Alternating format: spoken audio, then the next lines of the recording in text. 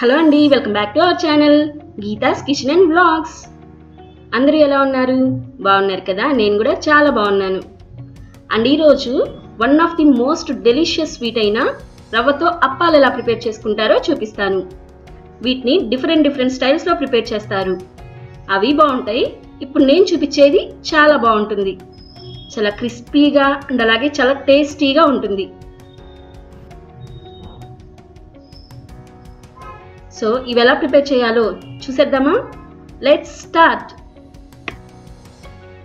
First ఒక bowl తీసుకోవాలి. దాంట్లో ఒక కప్ బొంబాయి రవ్వ ఒక కప్ పంచదార. ఒక కప్పు బొంబాయి రవ్వకి ఒక కప్ పంచదార వేసుకోవాలి. అండ్ అలాగే రెండు యాలకులు వేసుకొని బాగా కలుపుకోవాలి. ఇది కొలత కరెక్ట్గా తీసుకోవాలి. ఒక కప్ బొంబాయి రవ్వకి ఒక కప్ పంచదార. ఇలా చేసుకుంటే మనకి చాలా బాగా వస్తుంది. అండ్ నెక్స్ట్ గ్యాస్ ఆన్ చేసుకొని ఒక బౌల్ పెట్టుకోవాలి. దాంట్లో ఒక కప్ వాటర్ పోసుకోవాలి.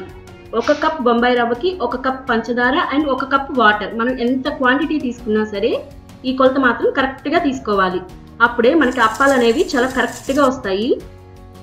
అండ్ తర్వాత ఈ వాటర్ హీట్ ఎక్కేదాకా ఉంచుకొని తర్వాత మనం ఆల్రెడీ బొంబాయి రవ్వ పంచదార తీసుకున్నాం కదా అది దీంట్లో వేసుకొని బాగా తిప్పుకోవాలి. ఇవి తిప్పుకుంటూనే ఉండాలండి. ఉండలు పట్టకుండా. బాగా దగ్గరికి వచ్చేదాకా ఇలానే తిప్పుకుంటూ ఉండాలి. తర్వాత ఇవి మనకి అప్పాలు చేసుకోవడానికి వీలుగా ఉండేటట్టుగా బాగా దగ్గరికి వచ్చేదాకా తిప్పుకుంటూ ఉండాలి. నేను ఇప్పుడు చెప్పిన క్వాంటిటీ అనేది కరెక్ట్గా తీసుకుంటే మనకి పిండి అనేది చాలా కరెక్ట్గా వస్తుంది. ఇదిగో దగ్గరికి వచ్చేసిందండి. సో దీన్ని ఇప్పుడు గ్యాస్ ఆఫ్ చేసేసి పక్కన పెట్టేసుకొని చల్లారే వరకు ఉంచుకోవాలి. చల్లారిన తర్వాత కొంచెం కొంచెం తీసుకొని అప్పాలు అనేది ప్రిపేర్ చేసుకుందాం. కొంచెం ఒక టూ టేబుల్ స్పూన్ నెయ్యి తీసుకుందాం. తీసుకొని జస్ట్ అలా కొంచెం చేతికి రాసుకొని కొంచెం కొంచెం పిండితో తీసుకొని అప్పాల్లాగా ప్రిపేర్ చేసుకోవాలి. దీనికి నెయ్యి కూడా ఎక్కువ రాసుకోవాల్సిన అవసరం కూడా ఉండదండి. జస్ట్ అలా కొంచెం టచ్ చేసుకుంటే సరిపోయిద్ది.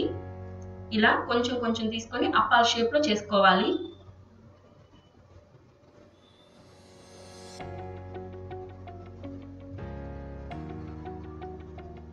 పిండి అనేది ఇట్లా జారుగా లేకుండా మనం తీసుకున్నటువంటి క్వాంటిటీతో కరెక్ట్గా చేసుకుంటే ఇలా జారుగా లేకుండా ఇలా బాగా ముద్దలాగా వస్తుంది. ఇలా చేత్తో అప్పాలన్నీ ప్రిపేర్ చేసుకోవాలి.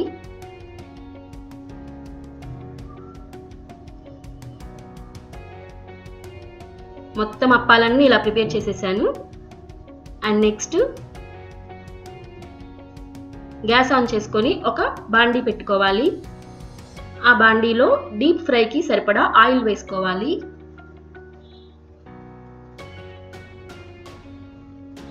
ఆయిల్ బాగా మరిగే వరకు ఉంచుకోవాలి. తర్వాత మనం ఆల్రెడీ తీసి పెట్టుకున్నాం కదా ఈ అప్పాలు అనేవి ఒక్కొక్కటి వేసుకుంటూ ఉండాలి. ఇది హై ఫ్లేమ్లో పెట్టి వేసుకోవాలండి. ఈ ఫ్లేమ్ అనేది తక్కువగా ఉంటే మనకి అప్పాలు విడిపోయే ఛాన్సెస్ ఉంటాయి. సో హై ఫ్లేమ్లో పెట్టుకొని ఇట్లా మొత్తం అప్పాలన్నీ వేసేసుకోవాలి. వేసుకున్న తర్వాత వెంటనే వీటిని తిప్పుకోవద్దు. కొంచెం ఒక టూ టు త్రీ మినిట్స్ అలా ఉంచుకున్న తర్వాత తిప్పుకోవాలండి. వెంటనే తిప్పేసుకుంటే మళ్ళీ ఇవి విరిగిపోతాయి. సో కొంచెం వేడైన తర్వాత ఇట్లా కొంచెం కలర్ వచ్చిన తర్వాత అప్పుడు తిప్పుకోవాలి. ఇలా గోల్డెన్ కలర్ వచ్చే వరకు ఉంచుకొని తర్వాత తీసుకుంటే సరిపోయిద్ది. చూడండి కలర్ మనకి ఎంత బాగా వచ్చినాయో. ఈ కలర్ వచ్చే వరకు ఉంచుకొని తర్వాత తీసేసుకుంటే సరిపోతుంది.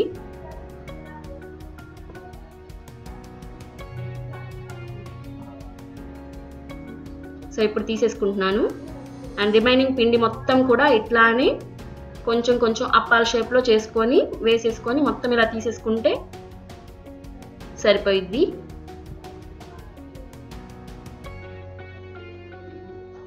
ఇలా మొత్తం చేసుకొని ఒక డబ్బాలో పెట్టుకొని వీటిని ఒక వన్ వీక్ నుంచి టెన్ డేస్ వరకు మనం ఉపయోగించుకోవచ్చు. టెన్ డేస్ వరకు కూడా ఇవి చాలా క్రిస్పీగా ఉంటాయి అండ్ అలాగే టేస్ట్ కూడా ఏ మాత్రం చేంజ్ అవ్వదు. అన్నీ కూడా ప్రిపేర్ చేసేసుకున్నాం. సో ఫైనల్లీ మనకు కావాల్సినటువంటి రవ్వతో అప్పాలు ప్రిపేర్ అయిపోయినాయి. చూసారా? ఎంత ఈజీగా చేసేసుకున్నామో. మీరు కూడా ట్రై చేయండి. ఎలా వచ్చిందో నా కమెంట్ సెక్షన్లో తెలియజేయండి. Thank you for watching bye bye